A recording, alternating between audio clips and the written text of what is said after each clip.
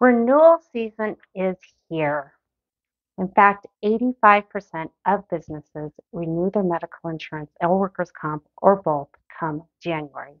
In any event, they're doing their budget analysis right now. And 50% of companies that are with the PEO look at transitioning in January. So tis the season. A lot of companies I'm talking to think it's a little bit too late to make a transition and do the financial analysis, but it's not. So, how I bring value to my clients is I help you do the front end analysis, work back and forth with each PEO company, work with the underwriters, help answer any questions, and then do the front end financial analysis for you. Help narrow down the top one or two or three PEO companies that would be a good fit for you.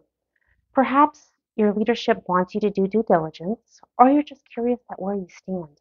In any event, we still have time. I'm here to help you.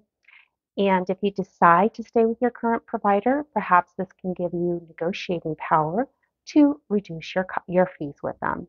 So if I can help you, you know who to call. Suzanna Martinez, the PEO for the CEO.